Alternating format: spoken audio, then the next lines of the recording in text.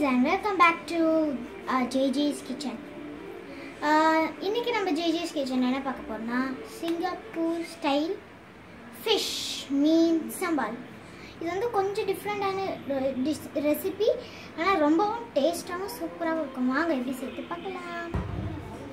Friends இங்கே பாருங்கள் இதுக்கு நம்ம இன்னைக்கு வெல்கம் பேக் உங்களுக்கு எல்லாம் என்னுடைய காலை வணக்கங்கள். இப்போ வந்து நம்ம என்ன பண்ண போறோம்னா சிங்கப்பூர் ஸ்டைல் மீன் சம்பால். இது மீனில் செய்யலாம் முட்டையில் செய்யலாம் கோழியில் செய்யலாம் எதில் வேணால் செய்யலாம். இப்போ நம்ம மீன் சம்பால் மீன் நல்லாயிருக்கும் அதேமாதிரி நெத்திலி கருவாடு சம்பால் பண்ணலாம். நெத்திலி கருவாடு சம்பால் இருக்குது அதுவும் சூப்பராக இருக்கும். ரொம்ப ஈஸியான வேலை தான். இதுக்கு வந்து நம்ம சிங்கப்பூர்லலாம் வந்து இந்த மாதிரி மிளகா யூஸ் பண்ணுவாங்க. இது கிடைக்கலன்னு நினச்சேன். இப்போ ஒரு இடத்துல இந்த மிளகா எங்களுக்கு கிடச்சிது. இதை மாதிரி இதை போ இந்த இது மாதிரி இருக்கும் அந்த மிளகா. சுருளு சுருளையா பாருங்க. தெரியுதுங்களா? நீட்டு காஞ்ச மிளகால இது கொஞ்சம் சுருக்கமாக இருக்கும். நல்லா பாருங்க. இதை மாதிரி மிளகா. இதை வந்து இந்த மிளகாயை வந்து சுடு தண்ணியில் பத் ஒரு நம்மளுக்கு காரத்துக்கு ஏற்றாப்புல நான் இப்போ வந்து ஒரு அஞ்சு பேர் சாப்பிட்ற மாதிரி சம்பால் பண்ண போகிறேன் அதுக்கு வந்து ஒரு இருபத்தஞ்சி மிளகா போட்டிருக்கேன். இருபத்தஞ்சி மிளகாயை இந்த மாதிரி சுடு தண்ணியில் ஊற வைக்கணும். சுடு தண்ணியில் சுடு தண்ணி இது கலர் அப்படி ஆயிடுச்சு மிளகா போட்டதுனால. சுடு தண்ணியில் மிளகா ஒரு இருபதுலேருந்து இருபத்தஞ்சி மிளகா காரத்துக்கு ஏற்ற போல் போட்டுக்கணும். இதை நல்லா அந்த சுடு தண்ணியில் கொஞ்ச நேரம் ஊற வச்சுட்டு ரெண்டு கொத்து பூண்டு. இப்படி கொத்தாக இருக்கும் பார்த்தீங்களா அந்த ரெண்டு கொத்து பூண்டை உரிச்சிக்கணும் ஃபுல்லாக தோலை எடுத்துட்டு அதையும் அந்த மிளகாவோட போட்டு மிளகா பூண்டு அப்புறமா வந்து ரெண்டு பெரிய வெங்காயம். ரெண்டுலேருந்து மூணு பெரிய வெங்காயம் மூணு பெரிய தக்காளி. ஒரு துண்டு இஞ்சி. இதெல்லாம் போட்டு இங்கே நல்லா மிக்ஸியில் அரைச்சி வச்சுருக்கேன். நல்லா பேஸ்ட் ஆக்கிடணும். அப்படிங்களா பாருங்கள் எப்படி கலர்ஃபுல்லாக இருக்குது இது இந்த மிளகா கிடைக்கலன்னா நீங்கள் சாதாரண காஞ்ச மிளகால கூட நீங்கள் அரைச்சிக்கலாம் ஊற வச்சு. இப்போ இந்த பேஸ்ட் ரெடி இந்த மாதிரி துண்டு மீனோ இல்லை எந்த மீன்னாலும் இந்த மாதிரி மசாலா போட்டு ஊற வச்சு பொறிச்சு வச்சுருக்கேன். அப்புறம் வினிகர் இது சும்மா ஒரு சின்ன கோலி குண்டு அளவு சின்ன இதோ இவ்வளோ அளவு புளி இருந்தால் போதும். ஒரு அளவு இவ்வளோதான் அந்த புளியை கரைச்சி கொஞ்சம் வச்சுருக்கேன். இது சக் சர்க்கரை உப்பு. உங்களுக்கு தேவைன்னா கொஞ்சம் அஜினா மட்டும் போட்டுக்கலாம். இப்போ பாருங்கள் இதை ஆன் பண்ணிவிட்டு எண்ணெய் ஊற்றிடும் எண்ணெய் கொஞ்சம் அதிகமாக ஊற்றணும் ஃப்ரெண்ட்ஸ் இது இந்த மீன் வறுத்த எண்ணெயே நான் ஊற்றிட்டேன் அது வேஸ்ட் ஆக்காமல் அதிலே செய்யலாம். இது வந்து நல்லா இப்போது உங்களுக்கு எண்ணெய் நல்லா காஞ்சிடுச்சு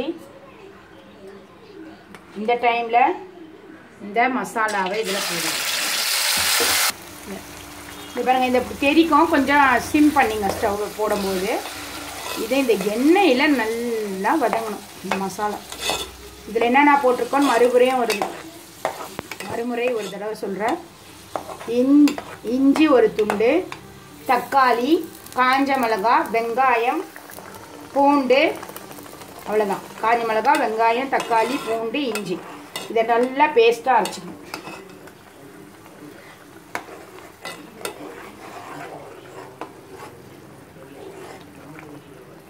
இந்த டிஷ்ஷு வந்து நீங்கள் இட்லி தோசைக்கு சாப்பிட்லாம். மெயினாக இந்த இது செஞ்சுட்டு பகாரா சாதம். ஒயிட் பகாரா புலாவ் அப்புறம் தேங்காய் பால் சாதம். இதுக்கெல்லாம் வந்து இந்த சம்பால் வச்சு சாப்பிட்லாம். காய்ஸ் இதை வந்து நாங்கள் வந்து முதல்ல கோகோனட் மில்க் ரைஸ்னு ஒன்று போட்டோம். அதுக்கு அதுதான் அந்த பகரா ரைஸும் இது நீங்கள் வந்து அது வேற இது வேற தான் அது கொஞ்சம் மிஸ் கொஞ்சம் தெரியாமல் சொல்லிட்டேன். நீங்கள் அது கூட இதை வச்சு சாப்பிட்டீங்கன்னா நல்லாயிருக்கும் ஃப்ரெண்ட்ஸ் ரொம்ப டேஸ்ட்டாக இருக்கும். ரொம்ப என்ன சொல்கிறது அப்படியே வாய் ஊறும் நம்மளுக்கு. அவ்வளோ டேஸ்ட்டாக இருக்கும். இது நாங்கள் எங்கள் அம்மா நிறைய தடவை செஞ்சு கொடுத்துக்குறாங்க அப்போ நாங்கள் இந்த யூடியூப் சேனல் திறக்கல இப்போ தான் நாங்கள் திறந்தோம். அப்போ தான் உங்களுக்கு போடலான்னு.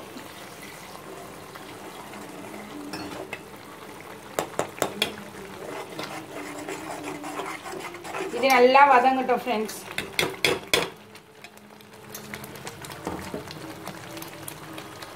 இது பாருங்க அப்படியே கொதிக்கும். நீங்கள் மூடி கூட வச்சுக்கலாம். மேலே தெரிக்கும் தெரியாது. இப்போ பாருங்க. இதுக்கு தேவையான உப்பு போட்டுக்கலாம்.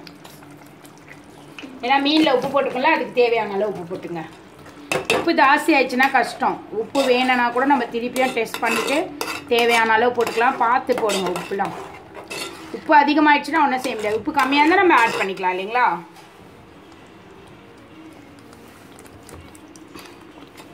இப்போது இது நம்ம ஃபுல்லில் வச்சு கொஞ்சம் இதை மசாலா வதங்க விடணும்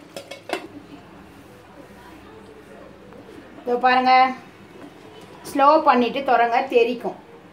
இப்போ இந்த ஸ்டேஜில் நம்ம இந்த புளி கரைசலை ஊற்றுவோம்.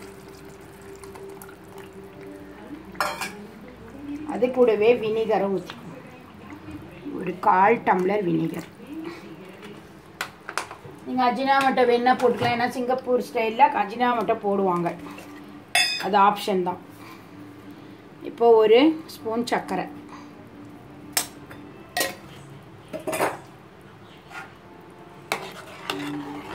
இப்போ இது நல்லா கொதி வரட்டும். இந்த எண்ணெய் தனியாக பிரிஞ்சு வரும். இந்த ஸ்டேஜில் நீங்கள் உப்பு காரம் பார்த்துங்க.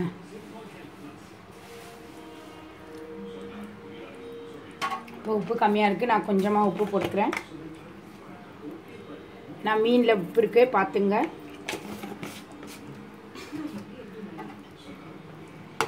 இந்த ச தேங்காய் பால் சாதம் பகாரா சாதத்துக்கெலாம் இதை வச்சுட்டு நீங்கள் சாப்பிட்டீங்கன்னா ரொம்ப அருமையாக இருக்கும். கூட ஒரு ரைத்தா வச்சுங்க.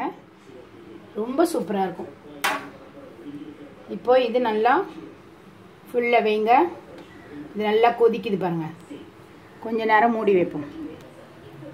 ஃப்ரெண்ட்ஸ் இது இன்றைக்கி நான் வந்து இந்த சம்பாலுக்கு பகாரா சாதம் செஞ்சுருக்கேன். இது நான் உங்களுக்கு இப்போ வீடியோவில் அப்லோடு பண்ணல. இது நான் சும்மா அப்படியே சும்மா ஓரலாக நான் சொல்கிறேன் பாருங்கள் இது வந்து நான் ஒரு கிலோ அரிசிக்கு புழுங்கல் அரிசி தான் பாசுமதியில் புழுங்கல் அரிசி. நம்ம வீட்டில் வடிக்கிற சாதம் வடிக்கிற அரிசி ஒரு கிலோ.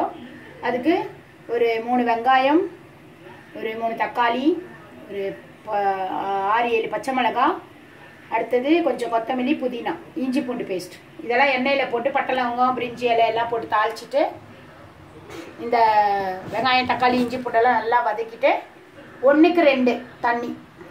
புழுங்கல் அரிசினால ஒரு இது ஒரு டம்ளருக்கு ரெண்டு டம்ளர் தண்ணி வைக்கணும். அப்போது நானே பத்து டம்ளர் தண்ணி வச்சேன் அஞ்சு அழாக்குக்கு இப்போ பத்து டம்ளர் தண்ணி வச்சு நல்லா உப்பெல்லாம் அதிலே போட்டுடணும். நல்லா கொதிச்ச பிறகு அரிசி போட்டு வெந்த உடனே தம்மில் விட்டுடணும். விட்டா இந்த மாதிரி இருக்கும். இந்த சாப்பாடுக்கு இந்த சம்பால் ரொம்பவும் ருசியாக இருக்கும். அதே மாதிரி தேங்காய் பால் சாதத்தில் கூட சம்பால் வச்சு சாப்பிட்லாம். இட்லி தோசை நைட்டில் இட்லி தோசை மீந்ததுன்னா கூட செ- மீந்து இருக்க சம்பாலை மறுநாள் இல்லை நைட்டில் எப்போனாலும் இட்லி சா தோசைக்கு இந்த சம்பால் ரொம்ப சுவையாக இருக்கும். இது வந்து ஓரலாக சொல்லியிருக்கேன் பாருங்கள் இது பகாரா ரைஸ். சிம்பிள் பிரியாணி மாதிரியே நம்ம பிரியாணி மசாலாலாம் போடாமல் கலர் இல்லாமல் ஒயிட் புலாவ் மாதிரியா இருக்கும். பகாரா சாப்பாடுன்னு சொல்லுவது வெங்காயம் தக்காளி புதினா கொத்தமல்லி இஞ்சி பூண்டு பேஸ்ட்டு பட்டலவங்கெல்லாம் போட்டு எல்லாம் வதக்கிட்டு அரிசி போட்டு இந்த மாதிரி தம்மில் விட்டு இறக்குனா பகாரா சாதம் ரெடி இதை பாருங்க ஃப்ரெண்ட்ஸ் எப்படி கொதிக்குது பாருங்க எண்ணெய் தனியாக வருது தெரியுதா உங்களுக்கு? இது ரொம்ப டேஸ்ட்டாக இருக்கும். அந்த கலரே ரொம்ப அட்ராக்டிவாக இருக்கும். சாப்பிட்ணும் போல தோணும். இந்த ஸ்டேஜில் நம்ம பொரித்த மீனை இதில் போட்டுக்குவோம். பாருங்க.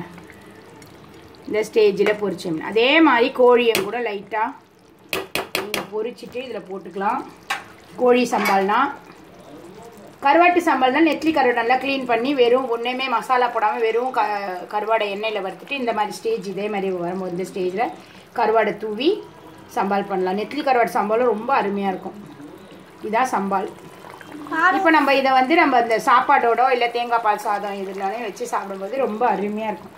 பாருங்க ஃப்ரெண்ட்ஸ் ரொம்பவும் easy and tasty and simple mean Sambhal ready இது வந்து இது வந்து சிங்கப்பூர் ஸ்டைல் ஏன்னா இது வந்து எங்கள் சித்தி சொல்லி கொடுத்தது. அவங்க ஷீஸ் இன் சிங்கப்பூர். அவங்க வந்து இதை சொல்லி கொடுத்தாங்க இந்த சம்பால். நிறைய நான் உங்களுக்கு அந்த சிங்கப்பூர் ஸ்டைல்